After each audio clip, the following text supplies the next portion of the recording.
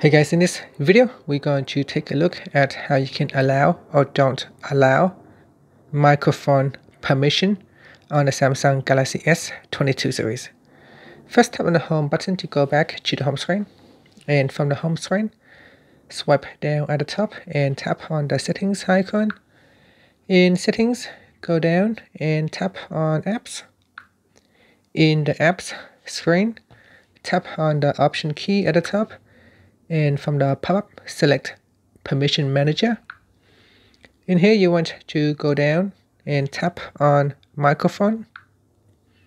In the microphone page go to the allow section or don't or not allow.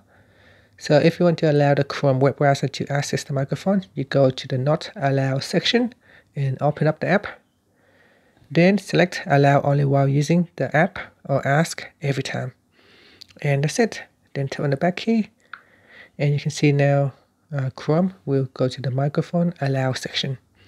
If you want to um, deny permission to the Chrome app or any other app, just open it, then choose don't allow and then tap on the back key and that's it. Finally, you can tap on the home button to go back to the home screen. Thank you for watching this video. Please subscribe to my channel for more videos.